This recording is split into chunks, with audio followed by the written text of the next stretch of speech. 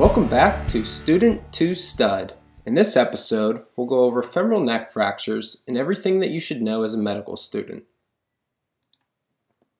Here's the basic outline that we'll cover in this presentation. Time for the first case of the day. What do you see? We have three views, AP pelvis, AP left hip, and cross-table lateral of a left hip, demonstrating a non-displaced and incomplete left femoral neck fracture. How would you treat this type of fracture? We'll shortly go over the different treatment options for femoral neck fractures, but in this case, it would be amenable to three cannulated screws in an inverted triangle configuration. We will now go over the typical presentation for a patient who sustains a femoral neck fracture. Typically, Patients that are older will sustain a low energy type injury, such as falling from ground level, and sustain a femoral neck fracture. These patients will more likely have osteoporosis. The next cohort of patients are going to be in your younger type population who sustain a higher energy injury, such as a motor vehicle accident. These types of femoral neck fractures will more likely be vertically oriented, it is important to note that femoral neck fractures can have an associated femoral shaft fracture, so it is important to image the entire femur. Femoral shaft fractures in conjunction with femoral neck fractures can be seen 6 to 9% of the time. It is important to treat the femoral neck before treating the femoral shaft. On physical exam, these patients will have pain with log roll and attempted straight leg raise. Patients that have a non-displaced femoral neck fracture may not have an obvious leg deformity. Classically, patients with a displaced femoral neck fracture will have their leg externally rotated and shortened. The one-year mortality rate for someone who sustains a femoral neck fracture is approximately 25 to 30 percent. The two-year mortality rate with someone with chronic renal failure is approximately 45 percent. It is important to educate families about the high mortality rate and that these are not benign type injuries. Next, we'll go over some pertinent anatomy that you should know as a medical student. First, the location. Femoral neck fractures are intracapsular. This is important as it can affect healing. The blood supply is limited. It is bathed in synovial fluid and lacks a periosteal layer. Therefore, avascular necrosis is much higher in this region. Femoral neck fractures are divided into three subtypes, subcapital, transcervical, and basocervical. This picture is a representation of these approximate locations. We will now go over the neck to shaft angle, which is a line drawn from the center of the femoral head and a line drawn down the femoral shaft. Where these two lines intersect is also known as the neck shaft angle, which is approximately 130 degrees. The average femoral neck anteversion is at 10 degrees. The major blood supply is the lateral epiphyseal artery of the medial femoral circumflex artery. Next, you should be aware of the calcar, which is located in the posterior medial aspect and contains a dense plate of bone. The calcar provides support to the femoral neck as it is a transitional area to transfer stress from the trabecular bone of the femoral head in the neck to the cortical bone of the femoral shaft.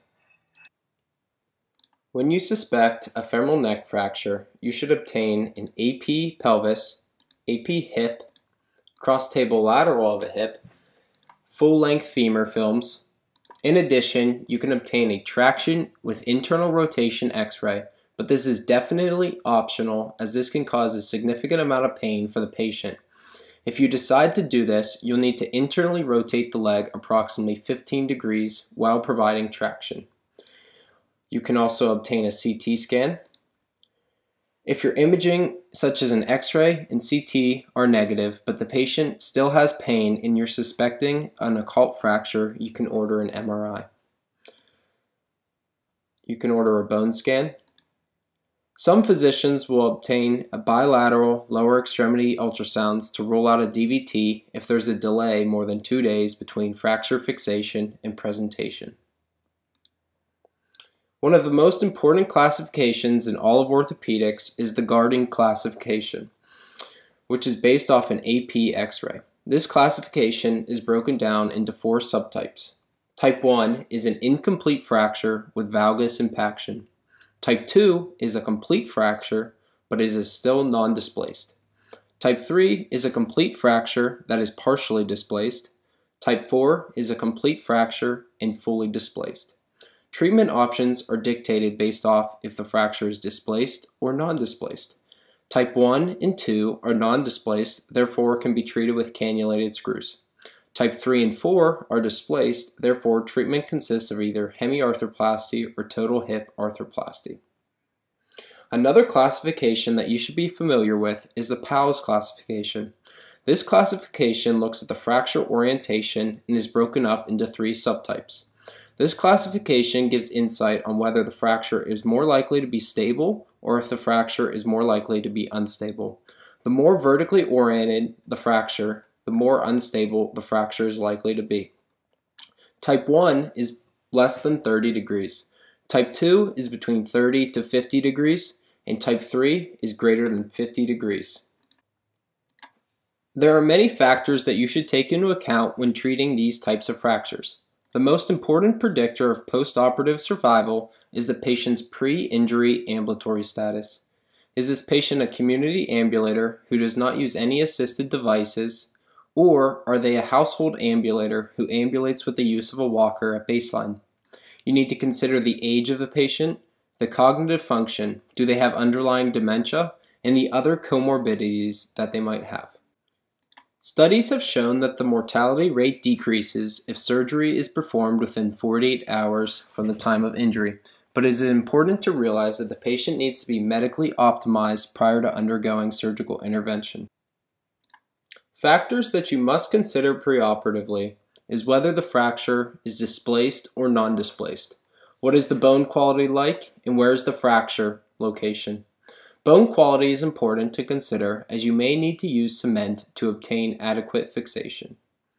We'll now go over the different treatment options. First is non-surgical. Open reduction with internal fixation which will be the treatment for young or physiologically young patients that sustain a non-displaced or displaced femoral neck fracture as you want to try to preserve their femoral head before undergoing arthroplasty. The next treatment option that we'll go over is percutaneous fixation with three partially threaded cannulated screws in an inverted triangle configuration. This is the treatment of choice for non-displaced femoral neck fractures. The order that the screws should be put in are inferior then posterior superior, then anterior superior. I remember this with Indian Pale Ale or IPA. The most important screw is the inferior screw as it is adjacent to the calcar. You want to make sure that you place the screws at or above the lesser troch to avoid a stress riser as this can potentially cause a fracture. You want to make sure that your threads cross the fracture site so you get good compression the most common mode of failure is a varus malreduction. The next treatment option that we'll go over are sliding hip screws. These can be used in basicervical femoral neck fractures or fractures that are vertically oriented. Next, arthroplasty. Hemiarthroplasty can be used in displaced femoral neck fractures.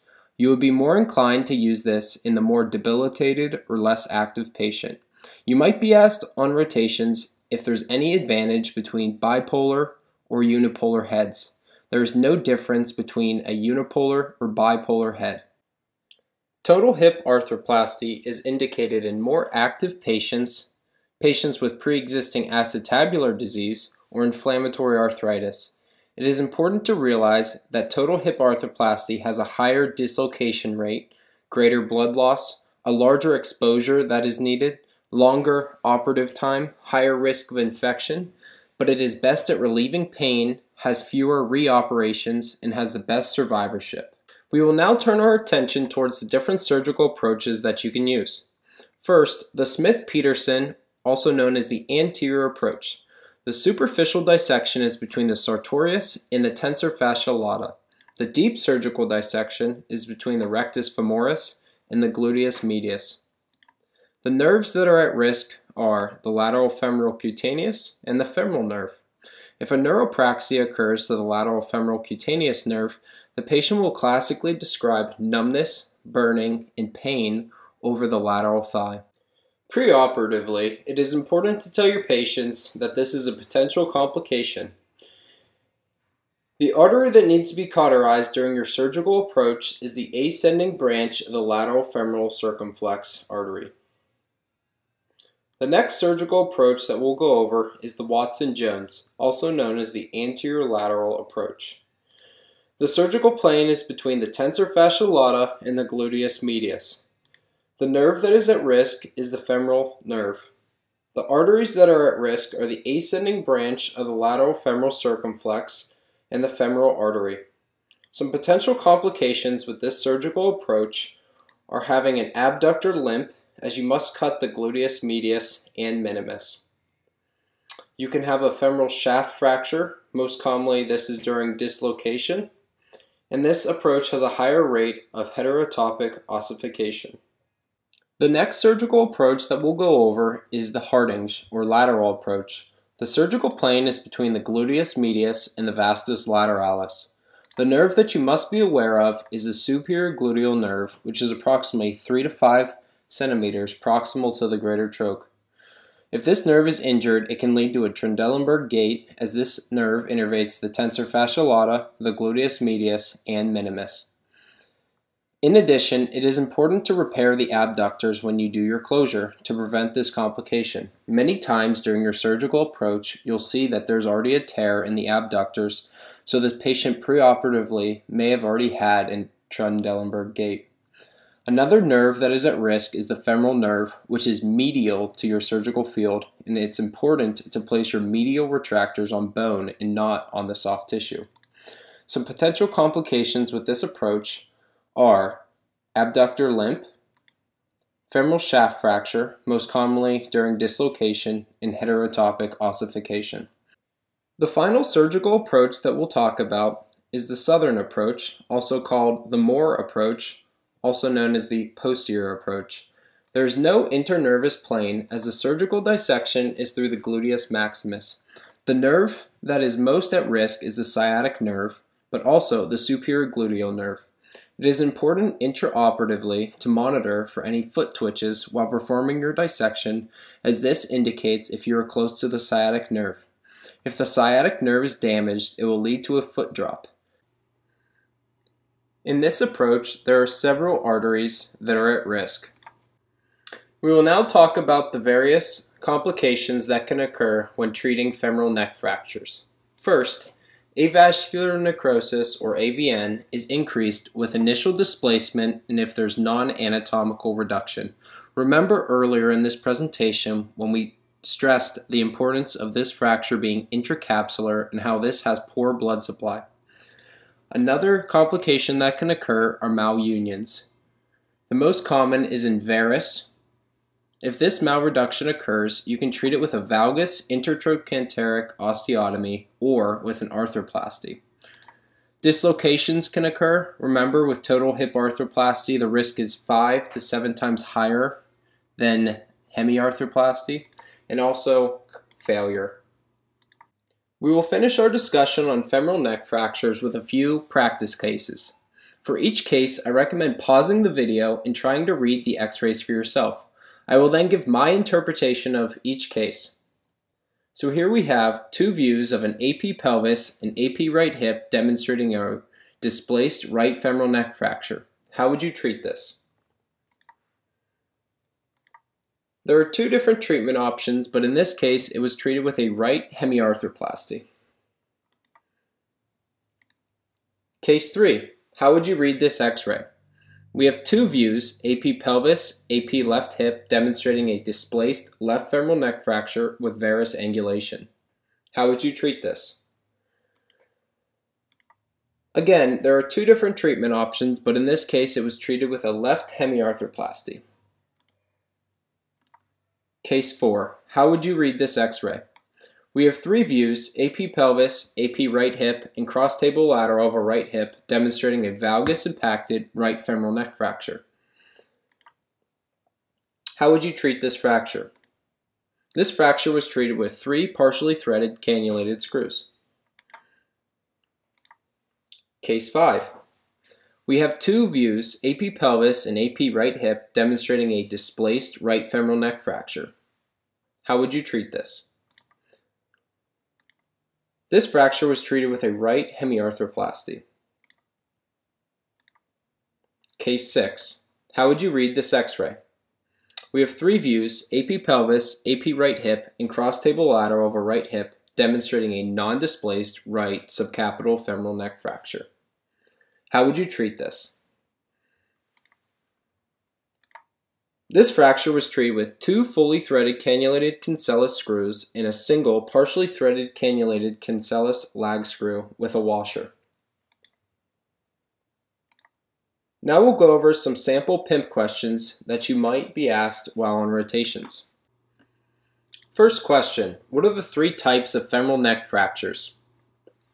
Subcapital, transcervical, and basocervical. Second question, what is the main classification of femoral neck fractures? Garden. Question 3. What are the names of the different surgical approaches to the hip? Anterior, also known as the Smith-Petersen approach. Anterior lateral, also known as the Watson-Jones. The lateral, also known as the Hardinge. And the posterior, also known as the Moore or Southern approach. Question 4. What is the superficial surgical dissection for the Smith-Petersen approach to the hip, and what is the deep surgical plane? The superficial approach is between the sartorius and the tensor fasciae lata. The deep surgical approach is between the rectus femoris and the gluteus medius. Question 5. What is the proper order for placement of the three cannulated screws? Inferior, posterior, and anterior. Remember Indian Pale Ale or IPA. Question 6. Which nerve is most at risk during the southern approach, and what is the physical exam finding if this nerve is injured? The sciatic nerve, and on physical exam, this would correspond with a foot drop. Question 7. What is the major blood supply to the femoral head? It's the medial femoral circumflex artery. Question 8. What makes a femoral neck fracture different from an intertroch hip fracture? Intercapsular versus extracapsular. Question 9. What is the percentage of femoral neck fractures with an associated femoral shaft fracture? 6 to 9%. Question 10. What imaging modality is used if you're suspicious of a hip fracture but radiographs are negative? An MRI to rule out occult fracture. Question 11. What are the two origins of the rectus femoris muscle? the anterior inferior iliac spine, and the superior acetabular rim. Question 12. What is the normal anteversion of the femoral neck? 10 degrees. Question 13. What treatment, hemiarthroplasty or total hip arthroplasty, has a higher dislocation rate? Total hip arthroplasty. Question 14. What is the position of a patient's leg who sustains a displaced femoral neck fracture? Shortened and externally rotated. Last question. Name the five short external rotators of the hip that are exposed in the posterior approach. Piriformis, superior gemellus, obturator internus, inferior gemellus, and the quadratus femoris.